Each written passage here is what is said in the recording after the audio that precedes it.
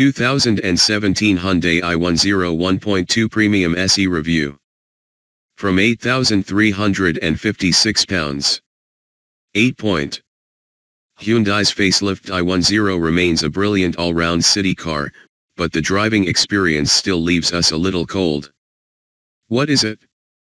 This is Hyundai's latest attempt to keep its best-selling i10 relevant in an increasingly competitive marketplace. Released back in 2012, the small city car from Seoul has always been a firm favorite of ours thanks to its class-leading build quality, versatile interior space and high residual values. But let's face it, the little i10 has never been particularly exciting, aesthetically or dynamically.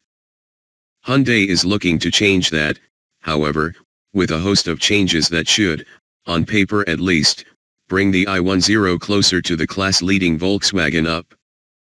Styling-wise, a new grille, LED daytime running lights, reprofiled bumpers, and new 1.4iN wheels help sharpen up the cutesy looks, while the interior gets a refresh with a range of new trims. The most significant change is the addition of an all-new infotainment system. Available only on range-topping premium SE trim, the new 7.0 in touchscreen features Apple CarPlay and Android Auto functionality as well as satellite navigation and live updates.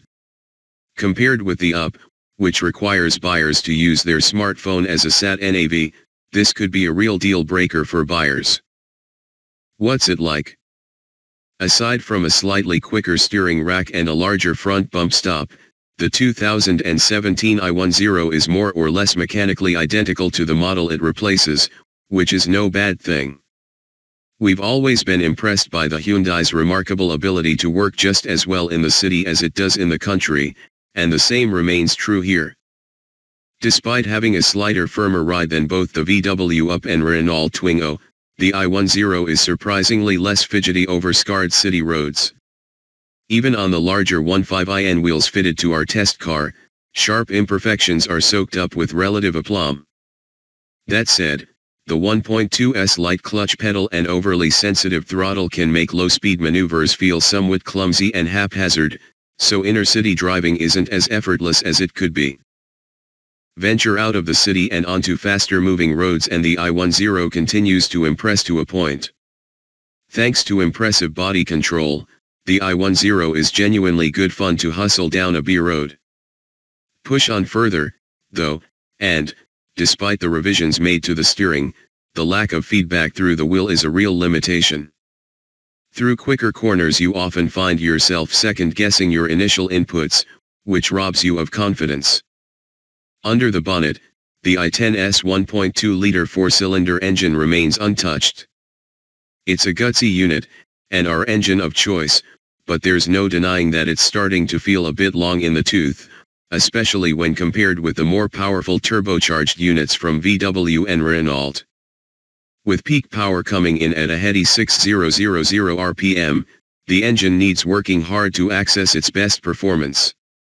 Around town this is less of a problem, but as soon as you join faster flowing traffic the engine's initial lack of urgency can become frustrating.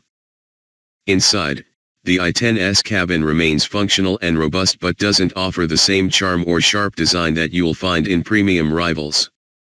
That said, the interior has been lifted by the addition of the new infotainment system. Controlled via a 7.0 in touchscreen, the new system is a vast improvement over the previous monochrome unit. Connecting your phone via Bluetooth is a breeze, the screen itself is clear and responsive and the TomTom-based SAT NAV gives real-time updates. Should I buy one? The i10's sophisticated ride, impressive residuals, class-leading space, and commendable performance are a compelling mix. Add a new infotainment system into the mix and it is arguably the most rounded city car in its class. However, the Hyundai still lacks the outright performance and dynamic sparkle of the class-leading VW Up. The up is also 345 pounds less to buy, is more frugal in the real world and is fractionally cheaper to tax. Ultimately, subjective considerations may decide which is preferable, but from a dynamic perspective, keener drivers will still get more from an up, while those more concerned with practicality would be better to consider the i10. It's as simple as that. 2016 Hyundai i10 1.2 Premium. Location, Surrey, on sale, now, price, £12,800, engine, 4 sills, 1,248 cubic centimeters, petrol, power, 86 bhp at 4000 rpm, torque, 118 pounds-foot at 6000 rpm, gearbox, 5 SPD manual, curb weight, 941 kilograms, 0 to 62 miles per hour, 12.3 SEC, top speed, 109 miles per hour, economy, 57.6 mpg, combined, CO2 rating slash BIK tax band, 114G slash KM, 19%. Rivals, Skoda Citigo 1.0 SEL, Volkswagen up 1.090 high up.